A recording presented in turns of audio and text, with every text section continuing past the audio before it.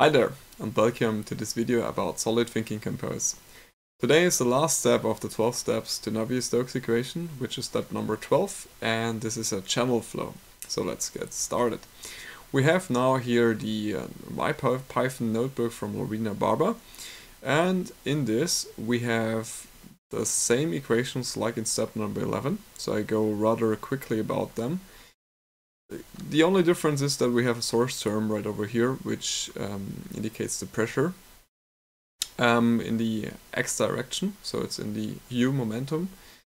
So um, just quickly going over there, we have the u momentum, the v momentum, and the pressure velocity relation with the Poisson equation.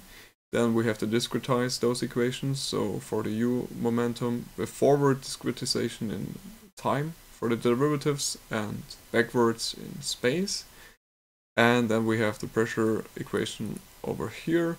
And this we will solve in a pseudo time step, which um, is about 50 or so, where we assume to, to have converged this equation between the pressure and the velocity.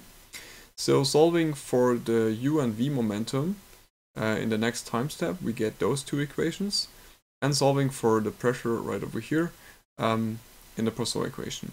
So the only thing which is different from step number 11 is uh, the source term f and the boundary conditions. So the boundary conditions in this case are initially zero everywhere. Then we have a periodic boundary condition at the x walls, so 0 and 2. We have the velocity to be 0 at the bottom and the top of the channel and the pr pressure different uh, the pressure differential is zero in y direction also at the top and the bottom of the channel. And f, the source term, is 1 everywhere and it's only affecting the x direction as stated over here. Alright, I think we can just quickly go to the implementation. So I uh, minimize the, the um, functions over here I go in them when we need them. So starting with the main program, we have here the imports, as always, numpy, matplotlib, and Axes3D for a um, 3D projection um, uh, plot plotting. Then the variable declarations, we have the same as always, nx and y, the number of grid points, number of time steps, the number of pseudo time steps, we have the c equals 1. I really don't know why that's in there. I think we don't need it. Will be embarrassing if we do. Alright, um, we have the x, the spacing of the grid points, the y, the spacing of the grid points in y direction. Then we have x and y, and also as a mesh grid for plotting. We have the physical variables, which is uh, rho, nu f and dt, time step, the initial conditions, and now we're solving this time differently like in step number 11, where we solve for a fixed number of time steps.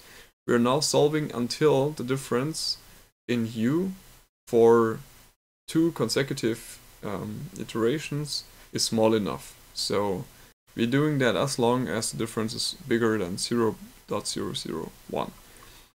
Uh, the calculation goes like this, we copy that, we build up b, which is part of the Poisson equation, we um, build up the, the full Poisson equations, and those two are function calls of the functions over here. So there are the equations for uh, b and for the pressure Poisson periodic.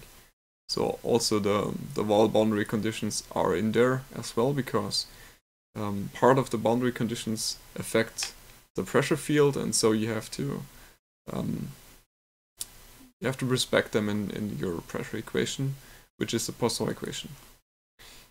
And having solved the pseudo Poisson equation, pseudo time step, we now can solve u and v. So for um, the iteration loop uh, until it's converged, u and v is calculated, and we are setting all the boundary conditions right over here. So they're pretty pretty much uh, boundary conditions. So the periodic boundary conditions at x equals 2, the periodic equation uh, boundary condition at x equals 0 for both u and v, and then we have finally the, the velocities at the wall to be 0 at y equal 0 or 2. And to calculate the difference, which is our criterion to um, to break the, the iteration loop, we calculate it with the sum, or the sum function of numpy, and we also have a step count which gets incremented with each iteration loop. So we can, after having reached this conversion con convergence criteria, we can print a step count to see how many iterations we, we had. Um, yeah, and then finally do a plotting. We do the same results um, twice. we do the plotting twice because what there's um, if you plot all the values, it might get a little bit too small. So there's a lot of different values, but you can help with um, this syntax. So you get uh, with this double colon sign, the third value is um, the step size. So every third value is all uh, considered. And how this looks like, I will show you in a minute. So we're executing it and the bottom one is the one which has step size 1, which is the default value. And the top is with every third value printed. You can see um, can see that the, the scheme much more better if you use fewer values. And this can, can come in handy for um, yeah, for, for large data sets. Yeah. Alright, that concludes this video and the 12 steps um, to Navier-Stokes in Python. I hope you enjoyed the series